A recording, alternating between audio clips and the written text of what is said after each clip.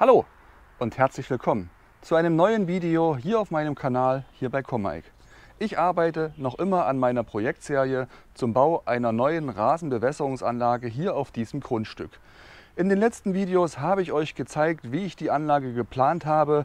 Ich habe euch gezeigt, welche Bauteile ich verwende. Und heute werde ich anfangen, die Gräben zu ziehen, die Rohre zu verlegen und die Sprenger einzubauen. Und wenn ihr wissen wollt, wie ich dabei vorgehe, dann bleibt dran.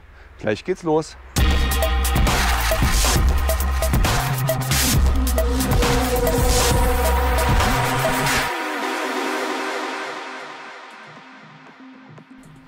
Nachdem ich die Zuleitung unter dem Gehweg hindurch in meine Verteilerbox verlegt habe, kann ich nun den Verteilerkopf an sich ebenfalls einbauen. Bevor ich das Ganze hier in dieser Box anschließe, werde ich jedoch vorab die Gräben schachten und die Rohre verlegen und die Sprenger anlegen. Das macht den Anschluss später in der Box deutlich einfacher, weil ich weiß, wie lang die Rohre sein müssen, wie viel Spiel ich da benötige.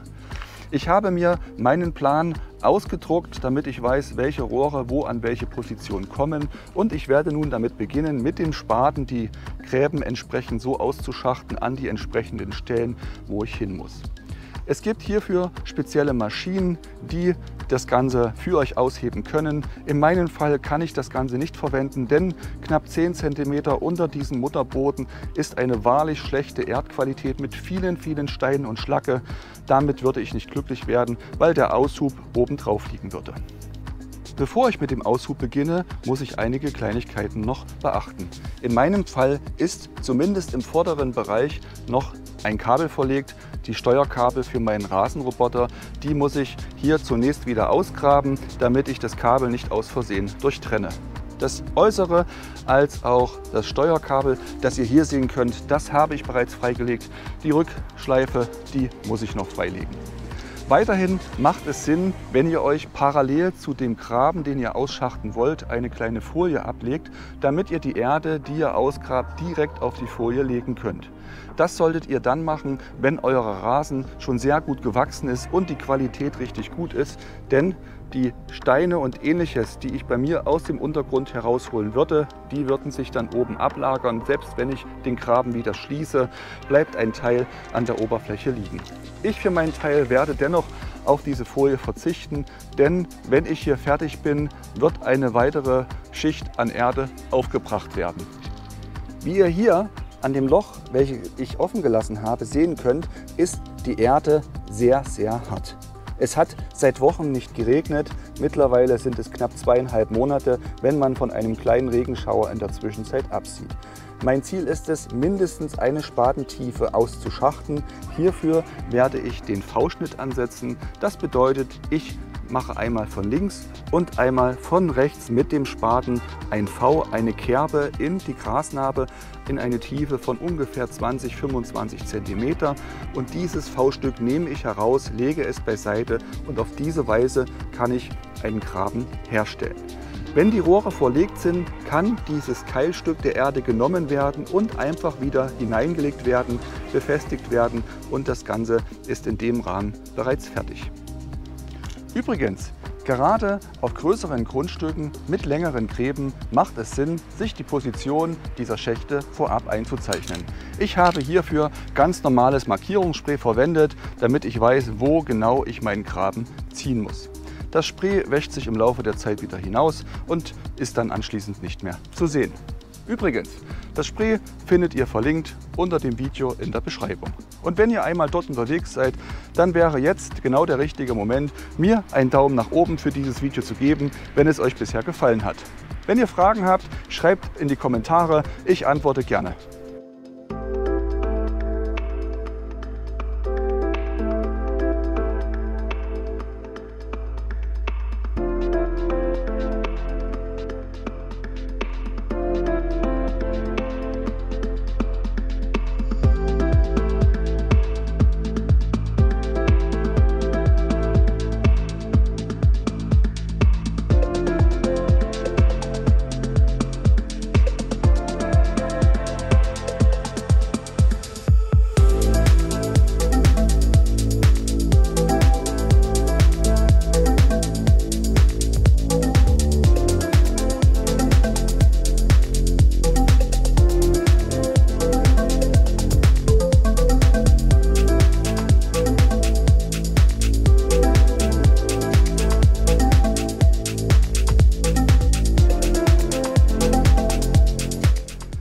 Ausheben der Gräben hat deutlich länger gedauert, als ich mir das erhofft hatte. Ihr seht, an einigen Stellen habe ich richtig gute Keile aus den Gräben herausholen können. An anderen Stellen ist die Erde zerfallen, wie hier. Und auch der Unterboden, wie ihr hier erkennen könnt, ist wahrlich nicht der beste. Das ist blanker Lehm, durch die Trockenheit hart wie Stein. Ich habe die Gräben dennoch auf eine Spatentiefe durchgezogen, habe das Ganze mit der Hake noch ein wenig glatt gezogen und kann auf diese Weise hier die Rohre einlegen. Während der obere Teil mehr oder weniger schon seit über 100 Jahren dort gewachsen ist an Erde, habe ich den unteren Teil ja erst vor kurzem aufgefüllt. Das sieht man hier. Die Erde ist noch absolut weich, auch der Rasen, der sich oben bereits angesetzt hatte, war nicht in der Lage, diese lockere Erde zu halten.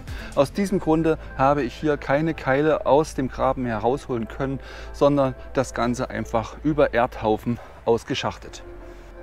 Den Zugang zu meiner zweiten Verteilerbox habe ich ebenfalls freigelegt und kann hier mit dem Rohr durch die Öffnung hindurchstoßen und das bereits bestehende Rohr anschließen. An den Seiten, an welchen ich die Sprenger einbauen will, muss ich noch etwas tun. Denn hier habe ich Beton angesetzt, um die Borden zu halten. Das betrifft diese Ecke, es betrifft diese Ecke und es betrifft drüben die beiden Ecken an der kleineren Zone. Dieser Beton ist natürlich knüppelhart und kann nicht mit dem Spaten geöffnet werden. Aus dem Grund werde ich hier mit dem Kompressor und meinem Druckluftmeißel das Ganze so weit frei hämmern, frei klopfen, dass der Sprenger von der Tiefe her hier in dieses Loch hineinpasst. Ich werde mir das frei legen, werde zwischenzeitlich die Wasserwaage drüber legen, um das Ganze auf einer Ebene zu haben.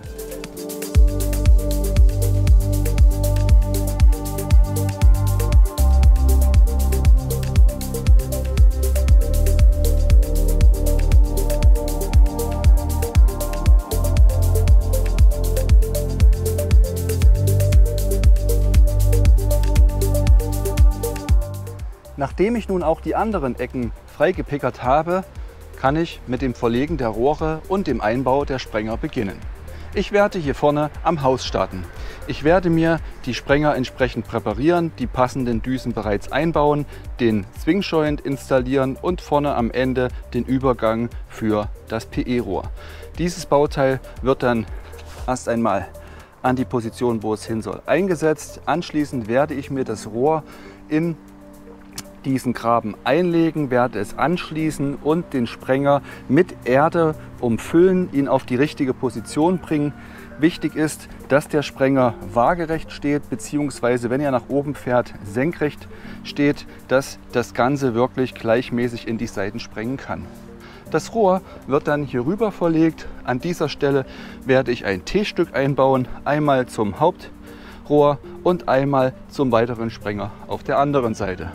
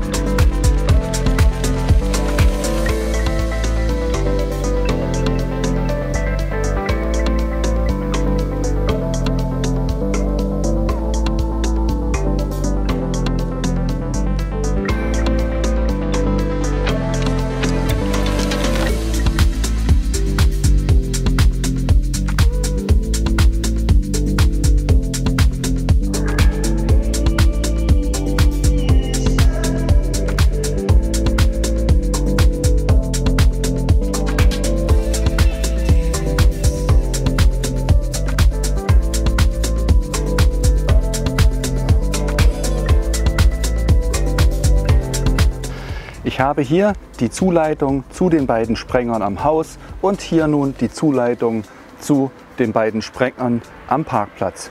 Diese beiden muss ich jetzt hier über das T-Stück verbinden und kann dann in diese Richtung weiter zu meiner Ventilbox gehen.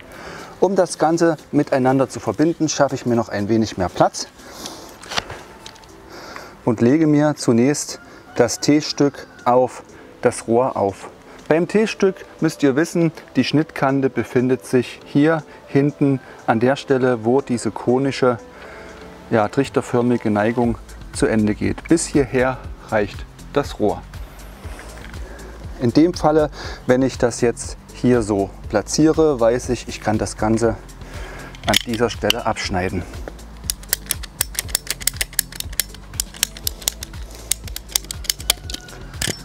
Achtet darauf, wenn ihr abschneidet, dass euch das Rohr nicht zu oft oder zu tief in die Erde hineinfällt.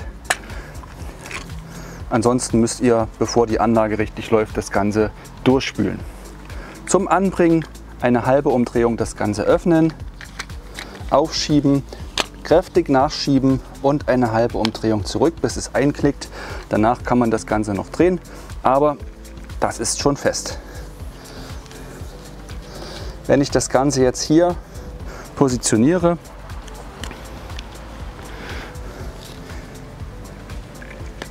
mir auflege, dann weiß ich, ich das Ganze hier habe. Ich mache mir meine Markierung und für den Fall, dass die Rohre auf beiden Seiten schon verbaut wären, müsst ihr natürlich beide Markierungen machen, um das Mittelstück komplett herauszuschneiden. In meinem Fall ist das rechte Rohr verbaut, das linke ist noch komplett frei. Das heißt, es reicht, wenn ich es auf der rechten Seite abschneide.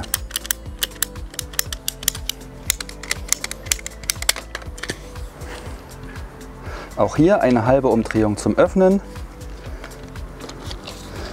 das Rohr einstecken, halbe Umdrehung zum Schließen und dann ist das Ganze fertig. Und auf dieser Seite das gleiche, eine halbe Umdrehung zum Öffnen,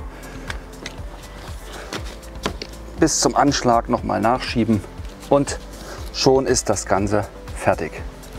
Die Rohre werde ich mir noch schön im Graben auslegen. Im Moment ist es sehr warm, das heißt die Sonne tut ihr Übriges dazu.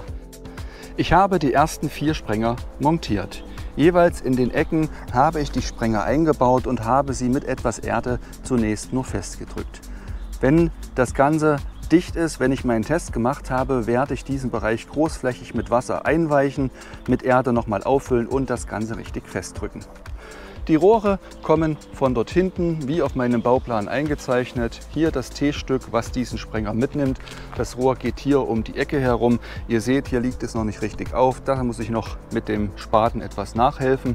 Und dann geht es hier zum T-Stück und vom T-Stück aus das Restrohr von der Rolle, welches hier tot endet. An einigen Stellen habe ich bereits die Keile, die ich ausgeschnitten habe, meine Erdkeile, wieder eingebracht. Ihr seht, hier liegt noch jede Menge daneben. Wenn ihr eine Folie untergelegt habt, ist das denkbar einfach. Ich werde das ganze nachher mit dem Rechen aufnehmen und anschließend mit dem Rasenmäher drüber gehen. Der Rasenmäher funktioniert wie ein Staubsauger und nimmt den Rest mit hoch. Diese ja, Steine und dieser Müll, der sich hier in der unteren Erde befindet, den werde ich entsorgen. Und wenn ihr hier seht, das Ganze ist nicht flächig aufgefüllt. Ich werde das hier ebenfalls kräftig wässern, so dass das Ganze weich wird, dass ich es nach unten treten kann. Und dann werde ich das Ganze mit Muttererde, die ich erneut mir kaufen muss, auffüllen. Ich habe das T-Stück, auch alle anderen T-Stücke und die Verbinder so weit offen gelassen, um zu testen, ob die Verbindungen dicht sind. Hierzu werde ich nun einen Adapter an das Ende vom Schlauch anbringen. Ihr seht hier das Rohrstück. Auf der anderen Seite habe ich jetzt einfach eine Muffe von 3 Viertel Zoll auf das 1 Zoll ähm, Gardena Hahnstück angebracht. Das werde ich jetzt hier einfach drauf machen.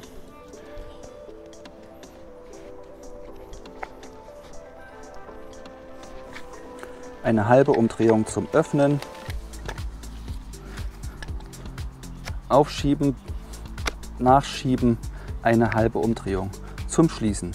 Und nun werde ich den Schlauch einstecken und dann sollte hier bereits die Sprenger nach oben kommen.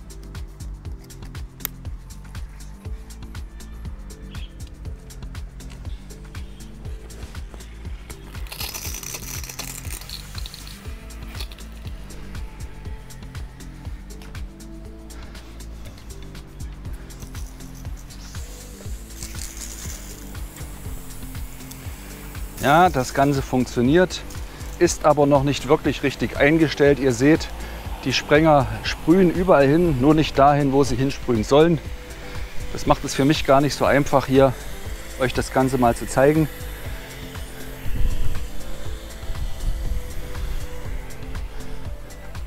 Der große Sprenger macht natürlich genau dahin, wo er nicht hin soll. Aber das Ganze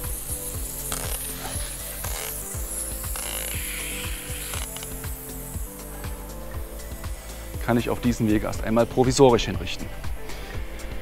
Ich werde euch im Laufe dieser Projektserie zeigen, wie ihr die Sprenger richtig einstellen könnt. Den Winkel, die Wurfweite, die Startzone. Doch jetzt geht es mir erst einmal darum zu schauen, ob das Ganze dicht ist. Und hierfür ist es das Sinnvollste, die Sprenger abzustellen, dass die Köpfe nach oben kommen, aber eben nicht bewässern.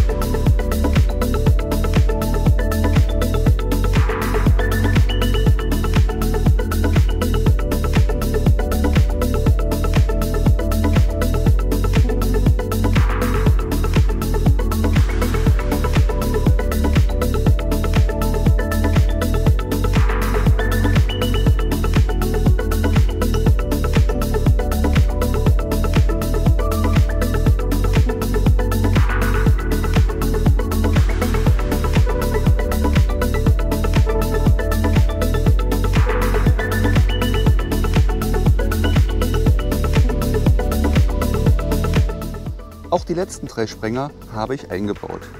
Den Cornersprenger für die linke Seite, für die rechte Seite, das T-Stück, welches als Zulauf dient. Hier noch einmal der große Sprenger, der die Seiten komplett mitnehmen soll. Die Rohre habe ich anteilig bereits zugelegt, damit sie mir nicht äh, sich wellen und wieder aus dem Loch herauskommen.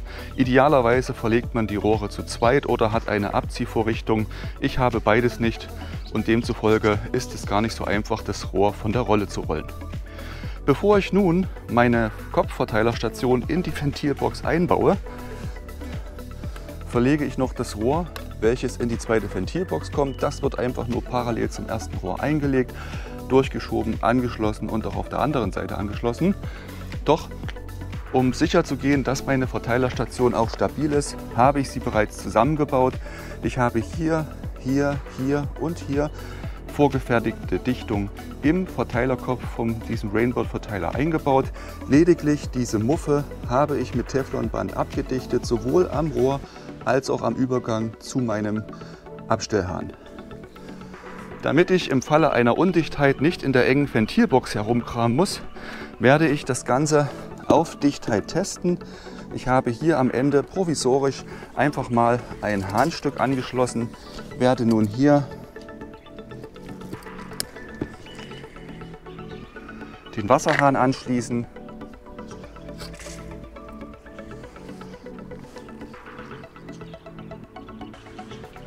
Und das schaut richtig gut aus. Wenn ich das Ventil nun öffne,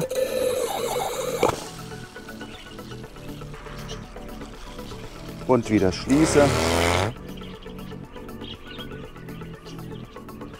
Das passt. Auch der Hahn auf der anderen Seite. Und das Ganze ist dicht. Hier tropft nichts. Ich kann die Verteilerstation so wie sie ist nun einbauen. Ich habe den Verteilerkopf in der Ventilbox eingebaut. Und wie ihr seht, musste ich doch ein wenig improvisieren. Das Gestänge war mit diesem großen Schieber doch zu lang gewesen. Es hat gerade so hineingepasst. Weiterhin musste ich die blauen Fittinge austauschen gegen die Gardena-Fittinge, speziell hier an der Seite, denn der Platz war einfach zu knapp gewesen, um die Rohre hier zu verschrauben. Wenn ihr außen herum den gesamten Bereich freigegraben habt und am Nullpunkt sozusagen seid, dann kann natürlich auch der blaue Fitting zum Einsatz kommen, denn ihr habt genügend Spiel links und rechts, um mit diesen Rohren zu arbeiten. Ich habe diese Box allerdings vor einem guten Jahr eingebaut. Sie ist schon gut in der Erde verwachsen. Ich wollte nur ungern den gesamten Bereich wieder freigraben.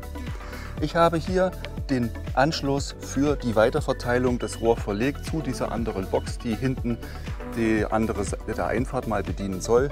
Ich habe hier das Ventil, welches die Rasensprenger auf dieser Fläche versorgt.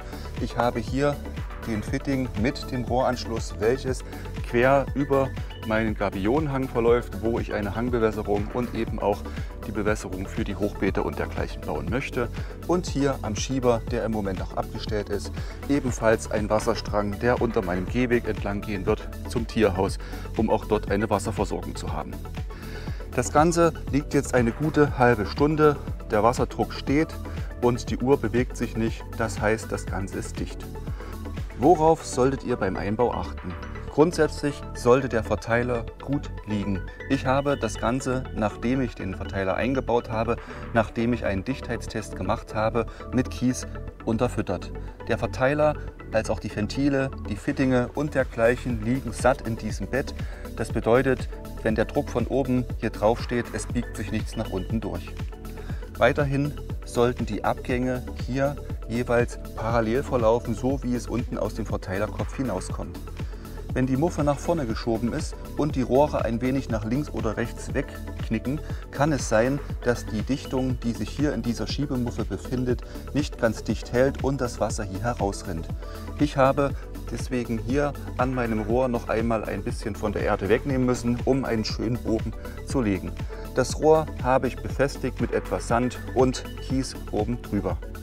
Ansonsten ist das Ganze dicht. Ich habe hier noch die Anschlüsse für den Steuercomputer. Das zeige ich euch dann später. Und einen kleinen Test, den machen wir jetzt gleich mit. Und ihr seht, alle Sprenger laufen. Vorsorglich habe ich sie ein wenig voreingestellt, damit ich hier nicht ganz so im Regen sitze. Die Keile auf der Rasenfläche habe ich nun komplett wieder eingelegt bzw. die lose Erde auf dem kleineren Teilstück eingehakt. Ihr seht, das Ganze ist noch rund, ist noch nicht wirklich eingegraben, die Erde ist einfach noch zu hart. Sobald das Ganze durch Regen oder durch die Bewässerung weicher wird, kann ich die Erde eindrücken, mit der Rasenwalze darüber gehen und das Ganze glatt bekommen. Die Erde, die ihr hier seht, besteht lediglich aus Steinen und Müll. Die werde ich entsorgen. Die andere Erde habe ich erstmal in Eimer abgefüllt. Die werde ich sieben und anschließend die Kahlstellen, die Hohlstellen auffüllen. Was ist noch zu tun? Als nächstes werde ich natürlich den Steuercomputer anschließen an meinem Ventil. Hierzu werde ich das Kabel ziehen, werde das Ventil anschließen, werde schon eine Vorbereitung treffen für die Ventile, die ja später mal noch weiter unten gebaut werden, dass hier ein Verteilerzentrum hineinkommt. Ich werde das Kabel auf der anderen Seite zu meinem Steuercomputer führen und diesen entsprechend programmieren, damit diese Fläche automatisch mitbewässert wird. Darüber hinaus werde ich natürlich auch die Sprenger richtig einstellen. Ich werde sie richtig einbauen. Im Moment sind sie noch etwas locker, denn die Erde ist einfach zu hart, aber durch dieses Regnen, durch dieses Sprengen, ihr seht es hier, wird das Ganze schon weicher, so dass ich das Ganze richtig gut einbauen kann. Das Ausrichten der Sprenger und die Einstellung der Beregnungsdüsen den Winkel, den Anfangsbereich und die Wurfweite von allen Düsen, die ich hier verbaut habe, das zeige ich euch dann im nächsten Video dieser Projektserie. Denn an dieser Stelle bin ich zunächst fertig. Ich hoffe, dieses Video war informativ für euch. Wenn ihr Fragen habt, schreibt mir einfach unten in die Kommentare. Schreibt mir auch gerne in die Kommentare, um mir einfach mal ein Feedback zukommen zu lassen. Und ganz besonders würde ich mich natürlich freuen, wenn ihr mein Video honoriert mit einem Daumen nach oben, wenn es euch gefallen hat. Wenn noch nicht passiert, drückt rechts unten auf den Abo-Knopf, dann verpasst ihr keins der neuen Videos aus dieser Projektserie. Und darüber hinaus werft einen Blick in die Beschreibung. Dort findet ihr die Anleitung der Hersteller, dort findet ihr Links zu meinen Bauprojekten und ihr findet auch die Links zu den Materialien, die ich hier verbaut habe. Wenn ihr das nachbauen wollt, einfach klicken, gleicher Preis für euch und eine kleine Provision für mich und meinen Kanal. Ich bin an der Stelle fertig und freue mich auf euch bei meinem nächsten Video. Bis dahin, macht's gut. Ciao.